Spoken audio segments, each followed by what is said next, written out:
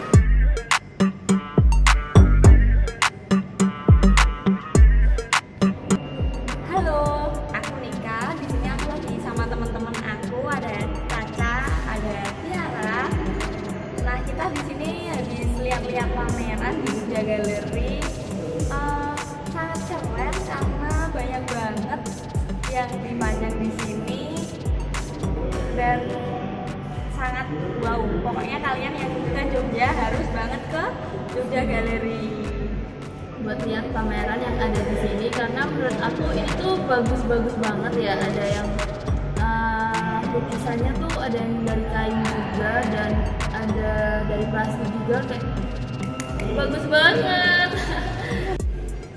Uh, aku harap dengan adanya pameran rutin yang kayak gini tuh dapat mengapresiasi warga Jogja dan dapat mengembangkan seni dan kreativitas yang ada di Yogyakarta. Jangan lupa buat datang ya.